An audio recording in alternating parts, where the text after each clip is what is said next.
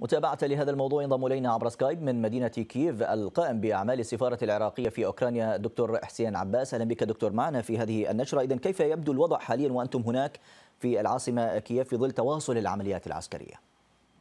السلام عليكم. تحية طيبة لكم ومشاهديكم الكرام.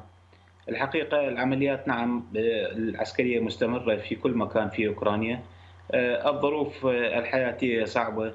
المواد الغذائية شبه مقطوعة. الأسواق متوقفة عن العمل كل شيء متوقف عن العمل. الحياة ليست سهلة. طيب في ظل هذا الوضع الحالي كيف يكون التواصل ما بينكم كسفارة جمهورية العراق مع الجالية العراقية؟ وما هي الإحصائيات؟ كم خرج من أوكرانيا؟ هل لديكم إحصائيات عن ذلك؟ كم بقي منهم داخل أوكرانيا؟ الحقيقة نحن متواصلون مع الجالية العراقية بكل فئاتهم. مع الطلاب مع الجالية المقيمة من سنوات عديدة.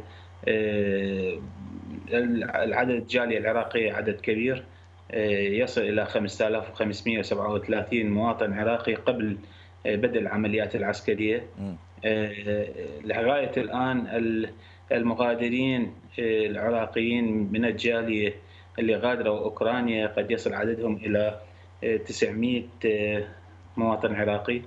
البعض من عندهم غادر عن طريق الحدود البولندية البعض الآخر عن طريق رومانيا وهنغاريا ولكن معظمهم عن طريق بولندا طيب أنتم كسفارة وتمثلون يعني الجهة الرسمية التي يعني يلجأ إليها هؤلاء في أوكرانيا في ظل الوضع الحالي ما الذي يمكن تقديمه إليهم؟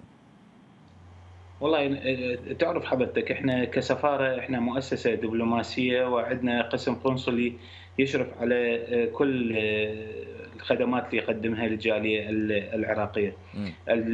السفارة قبل ما تبدأ العمليات العسكرية بحوالي أسبوعين إحنا اتخذنا الاحتياطات اللازمة لمثل هذه الحالة. فاتحنا الجامعات والمعاهد الأوكرانية بخصوص الطلبة العراقيين قمنا بإنشاء تليفونات خطوط ساخنة للتواصل معهم أنشأنا خلية أزمة أنشأنا فيما بعد لما صارت العمليات العسكرية خلية أزمة رباعية مع السفارات العراقية اللي المحيطة في أوكرانيا. في تواصل مستمر من خلال الجهات الرسمية والجهات الغير رسمية وبشكل مباشر مع الجالية العراقية. يوميا إحنا على مدار الساعة عندنا تواصل مع ولكن الجالية. دكتور يعني حسين يعني حتى نكون صريحين معك يعني نحن نتواصل معكم وأيضا نتواصل مع الجالية سواء كانوا طلابا أو غير ذلك يتكرر الحديث دوما عن أنهم في حاله تواصل مع السفاره، السفاره لا تملك شيء سوى النصيحة بالذهاب إلى الملاجئ والابتعاد عن أماكن العمليات العسكرية، هل هذا صحيح؟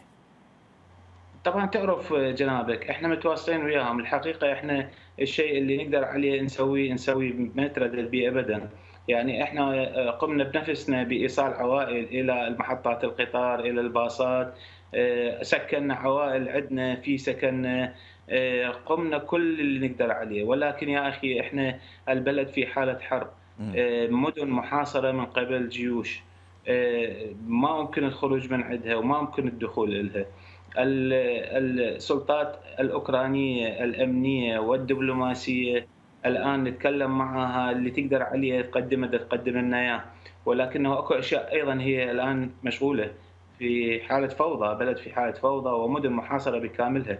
طبعا تعرف جنابك بنصير حالة حرب يعني خاصة الجهات الدبلوماسية ما تقدر توصل لكل مكان. مع ذلك اذا نقدر نوصل بطريقتنا. يعني أنا اليوم متواصل مع أحد النواب البرلمانيين اللي تربطني بعلاقة طيبة وطلبت من عنده بصفته الرسمية وعلاقاته مع في مدينة سومي التدخل لإنشاء خط آمن أو طريق آمن ممر آمن للعراقيين. نعم. وأيضا فاتحنا سفارتنا في موسكو.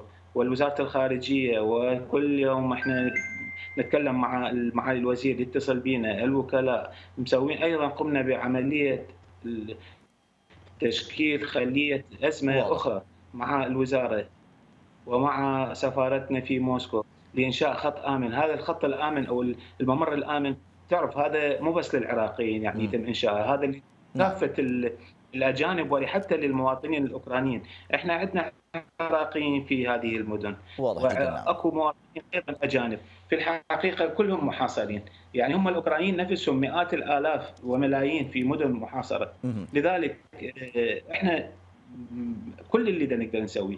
أشياء حتى عموما يعني يعني نتمنى السلامة للجميع لكم ولكل الجالية الموجودة في أوكرانيا. شكرا جزيلا. كان معي عبر سكايب من مدينة كييف القائم بأعمال السفارة العراقية. هناك الدكتور حسين عباس.